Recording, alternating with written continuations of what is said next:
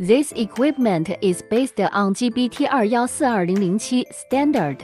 Using coulometric titration design, can fully complete the determination of total sulfur content in coal widely used in many industries. It has many features, such as high-efficiency electrolysis, automatic purification and stirring, prevention of over-electrolysis, adaptive resistance value of silicon carbon tube, etc., to ensure the accuracy and stability of experimental results. At the same time, the equipment has voice, broadcasting function, multi-stage sample delivery, continuous adjustable operation, temperature display up to 1200摄氏度, and rapid warming can reach the required temperature in a short time, providing efficient and accurate solutions for sulfur content analysis.